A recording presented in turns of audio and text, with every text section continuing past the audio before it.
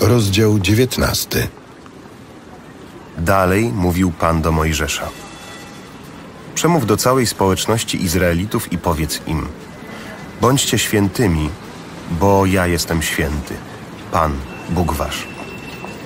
Każdy z Was będzie szanował matkę i ojca i będzie zachowywał moje szabaty. Ja jestem Pan, Bóg Wasz. Witam serdecznie na kanale Zakochany w Biblii, gdzie wspólnie czytamy Biblię ze zrozumieniem.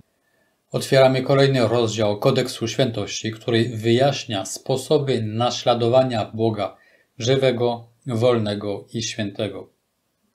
Prawo miłości, miłuj Boga i bliźniego, już zostało rozwinięte w przekazaniach dekalogu. Kodeks Świętości jest kolejnym uszczegółowieniem przekazań dekalogu. Ze wszystkich przekazań dekalogu Kodeks Świętości pomija pierwsze, nie omawia bojaźni Bożej. Zamiast tego zaczyna od umówienia już nie szacunku do rodziców, jak w dekalogu, ale bojaźni do rodziców. Słowo bojaźń dotąd było używane jedynie w stosunku do Boga. Bojaźń względem rodziców jest skojarzona z bojaźnią pańską, ponieważ szanując rodziców, szanujemy wszystko to, co oni reprezentują. Szanujemy wyższe prawo, którego są oni przedstawicielami w oczach dzieci. Nakaz bania się rodziców nie mniej obowiązuje dorosłych niż dzieci. Bez względu na to, jaki wiek dziecko osiągnęło, cześć dla rodziców jest jego obowiązkiem. Znamienna jest też kolejność wymieniania matki przed ojcem. Bój się matki i ojca. Można tu widzieć uznanie roli matki w wychowaniu dzieci. Jeszcze ciekawsze jest powiązanie przykazania bojaźni rodziców z przekazaniem zachowania szabatów. Są to jedyne dwa nakazy dekalogu, jak widać, są między sobą bardzo ściśle połączone. Można stąd wyciągnąć taki wniosek, że szabat jest szczególnym czasem, kiedy odczuwa się prawo uznania wyższego autorytetu od siebie. Czas szabatu jest czasem szczególnie poświęconym rodzinie i domowej katechezie. W czasie szabatu obietnica dana Abrahamowi jest przekazywana z matki na córkę, z ojca na syna, z pokolenia na pokolenie. Można stąd wyciągnąć jeszcze ogólniejszy wniosek, że zachowanie całego kodeksu czystości jest próżne, jeśli nie towarzyszy temu zachowanie szabatu, czego strażnikami są właśnie rodzice względem swoich dzieci. Gdyby z prawa Bożego wyjąć zachowanie szabatu, cała wspólnota wierzących straciłaby swoją cielesną jedność i swój kręgosłup międzypokoleniowy. Przestałaby być wspólnotą i stałaby się zbiorowiskiem jednostek niczym między sobą niepowiązanych. Cały kodeks świętości będzie owocny jedynie jeśli będzie oparty na więzi międzypokoleniowej, pielęgnowanej zwłaszcza w formie zachowania szabatów. To zakotwiczenie w czasie i przestrzeni chroni nas przed sprowadzeniem wiary do zbioru etycznych wartości. Przekaz życia jest aktem cielesnym. Zachowywanie szabatów jest aktem cielesnym. Przekaz wiary jest aktem cielesnym, a nie intelektualnym. Nie wpaja się życia, życie się przekazuje. Nie wpaja się wartości, wartości się przekazuje poprzez przykład cielesnego posłuszeństwa Bożym przekazaniom, szczególnie poprzez zachowanie odpoczynku szabatowego. W przeciwnym przypadku ciało ze świątyni ducha jest sprowadzane do maszyny. Rodzice i szabat stoją na straży życia duchowego dzięki zachowaniu cielesnych form posłuszeństwa. Jeśli rodzice ograniczają się do bycia zwolennikami pewnych wartości, dzieci nie będą odczuwały szacunku ani bojaźni przed nimi. Wartości są zależne od czasu, miejsca i okoliczności. Za wartościami nie ma żadnej transcendencji. Dopiero transcendencja uzasadnia potrzebę życia świętego, odrębnego od pogańskiego, co staje się widoczne zwłaszcza w sposobie spędzania szabatu u Żydów lub niedzieli u chrześcijan. W wychowaniu nie chodzi tyle o przekazanie wartości, co o przekazanie wiary. Cała Księga Kapłańska pokazuje, że wiarę przeżywa się cieleśnie, w ofiarach świątynnych, w posiłkach świątecznych, w stosunkach seksualnych i w podstawowych regułach życia społecznego. Wszystkie te wartości stają się prawdziwe, jeśli są przeżywane cieleśnie w ramach rodziny i w świetle szabatu.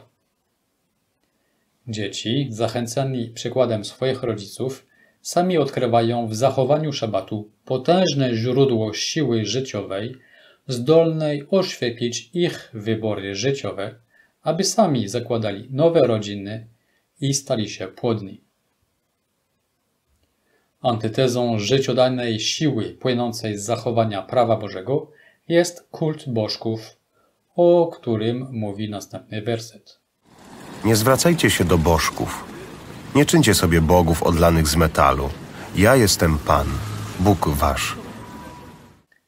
Nie zwracajcie się do bożków, które same nie żyją, a więc nie mogą przekazywać życia. Jedynie Hashem jest żywy. Jedynie Hashem może przekazywać życie przy współpracy rodziców.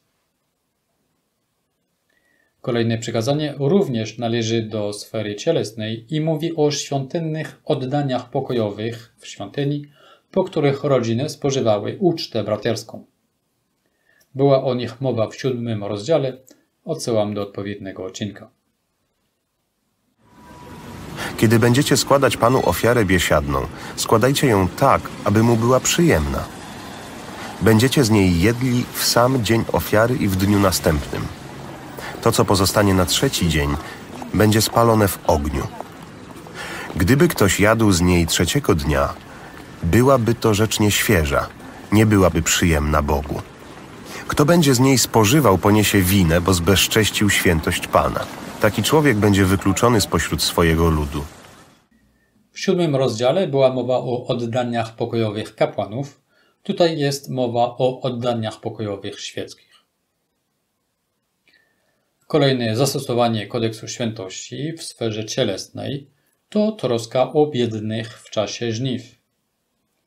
Nie należy darów bożych w całości przegarnąć dla siebie. Trzeba coś zostawić dla biednych na polu czy w winnicy. Posłuchajmy. Kiedy będziecie zbierać plony waszej ziemi, nie będziesz żą aż do samego skraju pola i nie będziesz zbierał kłosów pozostałych na polu. Nie będziesz ogołacał winnicy i nie będziesz zbierał tego, co spadło na ziemię w winnicy. Zostawisz to dla ubogiego i dla przybysza. Ja jestem Pan, Bóg wasz. Oto piękny przykład cielesnego wymiaru miłości bliźniego.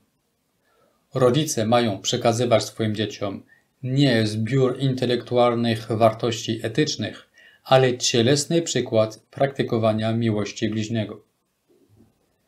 Dziecko mające taki przykład swoich rodziców może tylko ich podziwiać, szanować i odczuć bojaźń pańską. W rodzinie dokonuje się przekaz wartości, ale jest to przekaz cielesny. Lekcje etyki nie skutkują zmianą zachowania. Kiedy ktoś wchodzi na drogę sprawiedliwości, z automatu przejmuje jako swoje kolejne przejawy miłości bliźniego. Nie kraść, nie kłamać, nie oszukiwać, nie wyzyskiwać itd. Tak o tym właśnie opowiada ciąg dalszy tekstu. Nie będziecie kraść, nie będziecie kłamać, nie będziecie oszukiwać jeden drugiego, nie będziecie przysięgać fałszywie na moje imię. Byłoby to zbezczeszczenie imienia Boga Twego. Ja jestem Pan. Nie będziesz uciskał bliźniego, nie będziesz go wyzyskiwał, Zapłata najemnika nie będzie pozostawać w twoim domu przez noc aż do poranka. Nie będziesz złorzeczył głuchemu. Nie będziesz kładł przeszkody przed niewidomym, ale będziesz się bał Boga Twego. Ja jestem Pan.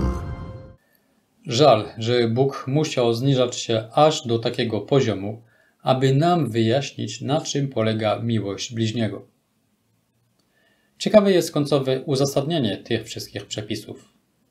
Będziesz się bał Boga Twego, mnie, Hashem. W ten sposób mamy piękne zamknięcie całej sekcji, zaczynającej się od bojaźni rodziców i kończącej na bojaźni Bożej.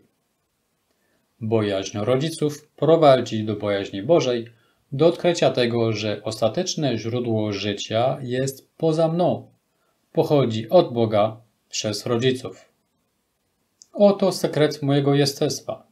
Otrzymałem życie od kogoś innego, odrębnego i ten ktoś mnie nie pozostawił po spłodzeniu, tylko zna mnie po imieniu i mnie powołuje. Takie odkrycie jest niesamowicie energetyzujące. Jest też na antypodach współczesnego indywidualizmu, prowadzącego do depresji nawet dzieci. Bojaźń pańska jest podstawą, na której można zbudować wspólnotę i cywilizację. W indywidualizmie związki międzyludzkie są jak związki między przechodniami mijającymi się na peronach dworca kolejowego, gdzie każdy dba jedynie o własne potrzeby.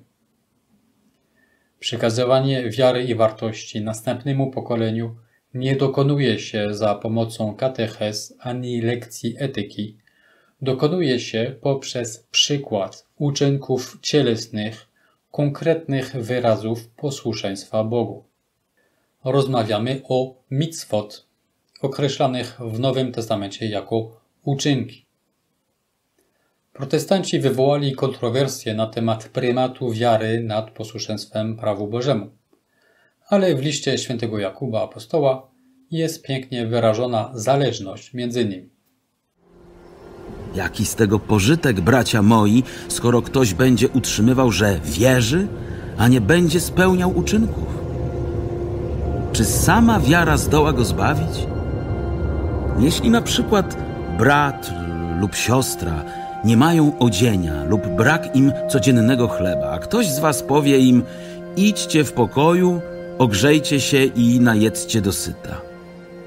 A nie dacie im tego, czego koniecznie potrzebują dla ciała, to na co się to przyda?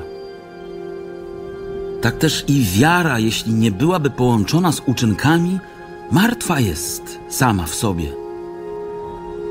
Ale może ktoś powiedzieć: Ty masz wiarę, a ja spełniam uczynki. Pokaż mi wiarę swoją bez uczynków, to ja ci pokażę wiarę na podstawie moich uczynków. Wierzysz, że jest jeden Bóg? Słusznie czynisz, lecz także i złe duchy wierzą i drżą. Kolejny raz przekonujemy się, że Nowy Testament został napisany w kontynuacji ze Starym Testamentem i bez dogłębnej znajomości Księgi Kapłańskiej chrześcijanie nie potrafią pojąć własnej wiary. Tora, prawo Boże, jest prawem życia, wolności i świętości. Wiara wyraża się w uczynkach, w konkretnych aktach posłuszeństwa wynikających z miłości i zaufania Bogu. Lekceważenie mitzvot, przykazań, to porzucenie drogi życia, wolności i świętości, to oddawanie się na pastwę demonów krążących wokół nas, aby nas pożreć. Posłuszeństwo wyraża się w ciele, przykazania są nośnikiem ducha przepojonego bojaźnią przed transcendencją. Przekazania otrzymuje się od rodziców w formie cielesnego przykładu. Zachowanie przekazań owocuje sprawiedliwością, życiem, pokojem, błogosławieństwem i płodnością. Tyle na dzisiaj. W następnym odcinku omówimy serce kodeksu świętości, mianowicie słynne przykazanie miłowanie bliźniego jak siebie samego. Życzę owocnego słuchania. Dalej mówił Pan do Mojżesza. Przemów do całej społeczności Izraelitów i powiedz im: Bądźcie świętymi, bo ja jestem święty, Pan, Bóg wasz. Każdy z was będzie szanował matkę i ojca i będzie zachowywał moje szabaty. Ja jestem Pan, Bóg wasz. Nie zwracajcie się do bożków. Nie czyńcie sobie bogów odlanych z metalu. Ja jestem Pan, Bóg wasz. Kiedy będziecie składać Panu ofiarę biesiadną, składajcie ją tak, aby mu była przyjemna. Będziecie z niej jedli w sam dzień ofiary i w dniu następnym. To, co pozostanie na trzeci dzień, będzie spalone w ogniu. Gdyby ktoś jadł z niej trzeciego dnia, byłaby to rzecz nieświeża, nie byłaby przyjemna Bogu. Kto będzie z niej spożywał, poniesie winę, bo zbezcześcił świętość Pana. Taki człowiek będzie wykluczony spośród swojego ludu. Kiedy będziecie zbierać plony waszej ziemi, nie będziesz żą aż do samego skraju pola i nie będziesz zbierał kłosów pozostałych na polu. Nie będziesz ogołacał winnicy i nie będziesz zbierał tego, co spadło na ziemię w winnicy. Zostawisz to dla ubogiego i dla przybysza. Ja jestem Pan, Bóg wasz. Nie będziecie kraść, nie będziecie kłamać, nie będziecie oszukiwać jeden drugiego, nie będziecie przysięgać fałszywie na moje imię. Byłoby to zbezczeszczenie imienia Boga Twego. Ja jestem Pan. Nie będziesz uciskał bliźniego, nie będziesz go wyzyskiwał. Zapłata najemnika nie będzie pozostawać w Twoim domu przez noc aż do poranka. Nie będziesz złorzeczył głuchemu, nie będziesz kładł przeszkody przed niewidomym, ale będziesz się bał Boga Twego. Ja jestem Pan.